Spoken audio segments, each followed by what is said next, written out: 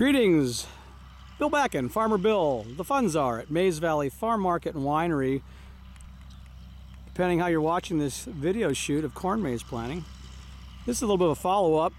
We're planting our maize today, May 22nd, 2009. Anticipated opening date, approximately August 15th. It'll be pushing it.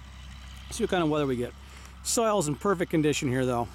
Uh, this field's been a no-till for many years. A little bit of moisture. Seeds going in. It's not making a, a uh, hard slit into wet soil. It's it's loose. It's coming up good. The, soil, the seal is going down nice. We'll have moisture right against the seed, but not too much. How we do a corn maze though is he's my father-in-law Kay is planting. He's right now running the rows where we're going east to west.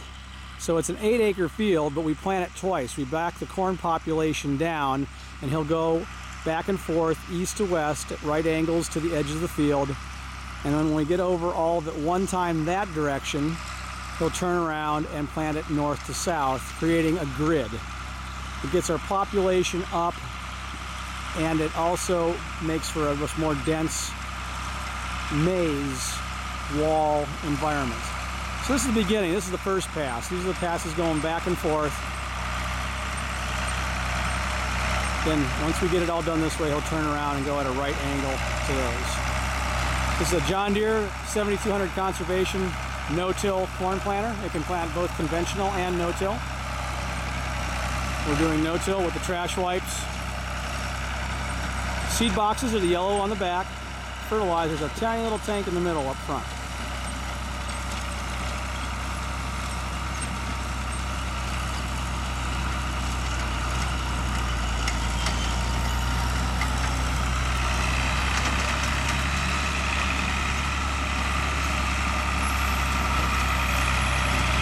As he turns, the marker sets down.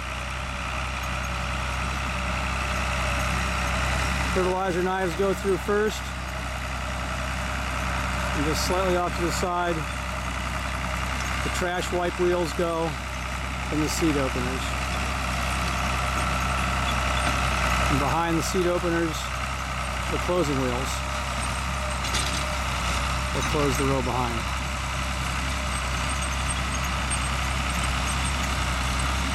Planting a corn maze at Maize Valley Farm Market Winery. We make great wine fun.